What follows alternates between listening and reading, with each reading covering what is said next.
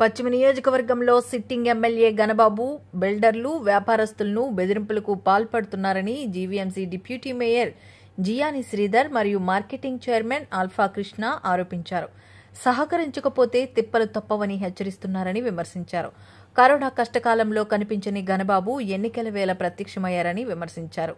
NAD YCP కార్యాలయంలో ఏర్పాటు చేసిన విలేకరుల సమావేశంలో ఆయన మాట్లాడుతూ గణబాబు బెదిరింపులకు వ్యాపారస్తులు బిల్డర్లు భయభ్రాంతులకు గురవుతున్నారన్నారు. పదేళ్ళుగా ఎమ్మెల్యేగా ఉండి ఏం అభివృద్ధి చేశారో ప్రజలకు చెప్పాలని సవాల్ విసిరారు. పశ్చిమ నియోజకవర్గంలో వైసీపీ ఇన్ఛార్జిగా వచ్చిన పంతొమ్మిది నెలల్లో పశ్చిమ ఎమ్మెల్యే అభ్యర్థి ఆడారి ఆనంద్ కుమార్ నియోజకవర్గంలో రెండు వందల అరవై ఐదు కోట్ల అభివృద్ధి పనులు చేపట్టారని తెలిపారు. అలాగే సొంత నిధులతో ప్రజలకు సంక్షేమ కార్యక్రమాలు చేపట్టారని ఆనంద్ కుమార్కి నియోజకవర్గ ప్రజలు బ్రహ్మరథం పడుతున్నారని తెలిపారు. పశ్చిమలో వైసీపీ విజయం సాధిస్తుందని ధీమా వ్యక్తం చేశారు. ఎమ్మెల్యే కాకముందే ఎంతో అభివృద్ధి చేసిన ఆడారి ఎమ్మెల్యేని చేస్తే ఇంకెంత అభివృద్ధి జరుగుతుందని ప్రజలు వైసీపీకి మద్దతు పలుకుతున్నారని తెలిపారు. రైల్వే చిక్కులతో ఉన్న అనేక సమస్యల పరిష్కారానికి ముఖ్యమంత్రి జగన్మోహన్ రెడ్డికి నివేదిక సమర్పించారన్నారు. ఇప్పటికే రెండు వేల కోట్లతో రహదారులు అండర్ పాత్వే వంటి అనేక అభివృద్ధి పనులు మంజూరయ్యాయని ఎన్నికల తర్వాత ప్రారంభం అవుతాయని తెలిపారు.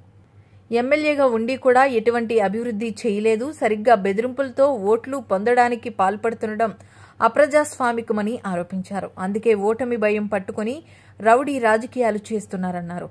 దొంగ ఓట్లు సృష్టించి గెలవడం కాదని నీతిగా గెలవాలని సూచించారు.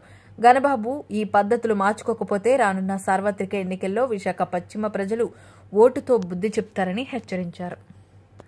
మేధావులైనటువంటి విలేకరులను పెడదాం. లేదు మేధావి వర్గాన్ని పెడదాం. మీ ఇష్టం. మీరెక్కడ కూర్చోమంటే అక్కడ కూర్చోవడానికి పెద్దలు జియాని శ్రీధర్ గారు నేను సిద్ధంగా ఉన్నాం. చర్చకు సిద్ధమా మీరు? మీ మీద మేము ఆరోపణలు చేస్తున్నాం. మీరు అభివృద్ధి చేయలేదు.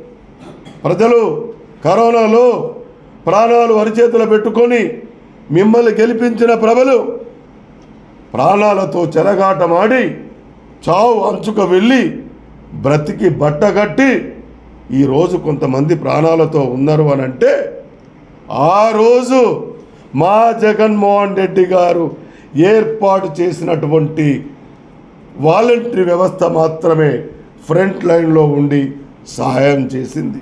ఈ వేదిక ద్వారా హెచ్చరిస్తూ ఉన్నా మరొక విషయం తెలియజేస్తున్నా గణబాబు గారికి వ్యక్తిగతంగా మాకు తెలుసు సాక్షాత్తు కొంతమంది దళితుల్ని దళిత సోదరుల్ని బెదిరిస్తున్నారు మీరు. భయభ్రాంతులకు గురి చేస్తున్నారు మీరు. ఆధారాలు మా దగ్గర ఉన్నాయి.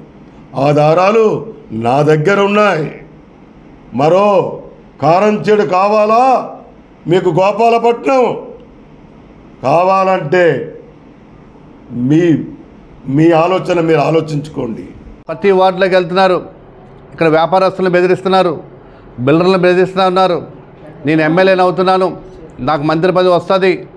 మీరు లక్ష ఇవ్వండి మీరు ఐదు లక్షలు ఇవ్వండి మీరు పది లక్షలు ఇవ్వండి డిమాండ్ చేస్తూ ఉన్నారు. మరి వ్యాపారస్తులు బిల్డర్లు అందరూ భయం భయభ్రాంతులు గురవుతూ ఉన్నారు. ఇప్పుడు ఈయన ఏది ఎమ్మెల్యే అవ్వకముందే మంత్రి అవ్వకముందే మమ్మల్ని డబ్బులు గుంజుతూ ఉన్నాడు. ఆనంద్ గారు ఏదున్నా తన సాయం చేస్తూ ఆర్థిక సాయం చేస్తూ ఉన్నాడు. మరి ఆనంద్ గారికి గణబాబుకి ఇది తేడా అని చెప్పి ప్రజలందరూ కూడా చెప్తా ఉన్నారు మాకు. ఈ ఎలక్షన్ అయ్యే వరకు మీ ఊరు వదిలి వెళ్ళిపోతాం మళ్ళీ పద్నాలుగో తారీఖున పదిహేనో తారీఖు మళ్ళీ ఊర్లోకి వస్తామని చెప్తా ఉన్నారు. స్థానిక వ్యాపారస్తులు కానీ స్థానిక బిల్డర్లు కానీ మరి ఈ విధంగా మంచి పద్ధతి కాదు. వాటర్ లేవనే ఉంటే మనగా ఈ రోడ్డు వేస్తాం ఈ కాలువలు వేస్తాం ఈ బిల్డింగ్లు కట్టాం మీకు ఈ పార్కులు కట్టాం. ఈరోజు మా వార్డు ఉంది. పంతొమ్మిది పార్కులు నిర్మించాం. ఇరవై ఐదు కోట్ల రూపాయలతో రోడ్స్ డ్రైన్స్ సచివాలయం బిల్డింగ్లు కట్టించాం. ముప్పై మా వార్డులో పద్దెనిమిది వేల మంది ఓటర్లు ఉంటే పదమూడు వేల మందికి ముప్పై ఐదు కోట్ల రూపాయల పైగా సంక్షేమ పథకాలు ఇచ్చాం.